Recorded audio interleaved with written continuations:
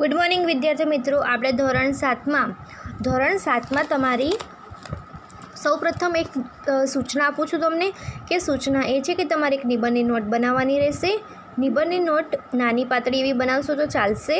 નિબંધની નોટમાં તમારે અનુક્રમણિકા બનાવવાની, પછી પાછળના પેજમાં તમારે ઉપર નામ આપવાનું છે, અનુલેખન. શું નામ આપવાનું છે?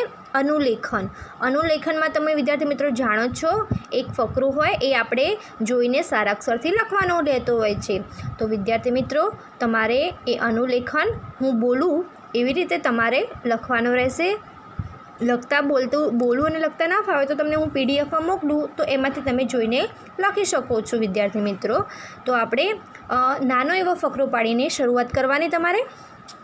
सूर्य अस्त होने से पहले ही वह गुरुजी के घर जा पहुंचा उसने गुरुजी के चरण छूकर प्रणाम किया उसके साथियों को जब पता चला कि वह फिर वापस आ गया है अल्पविराम तब वे तरह तरह की बातें बनाने लगे गुरुजी उसे देखते ही बोले अल्पविराम डबल इन्वेटेड કોમામાં લખવાનું બેટા દરવાજા બેટા વરદરાજ बेटा वरदराज उद्गार चिन्ह तुम घर नहीं गए क्या प्रश्न चिन्ह ફરીથી ડબલ ઇન્વેટ ડબલ અવતરણ ચિહ્ન કરવાના વહ નમ્રતાપૂર્વક બોલા અલ્પવિરામ ડબલ અલ અલ- અ, ડબલ અવતર ચિ- અલ્પવિ ચિહ્ન મ- मतलब डबल इन्वर्टेड कॉमा गया था गुरुजी पर आधे रास्ते से लौट आया अब मेरी आंखें खुल गई है मैंने निश्चय किया है कि मैं पूरी लगन और परिश्रम से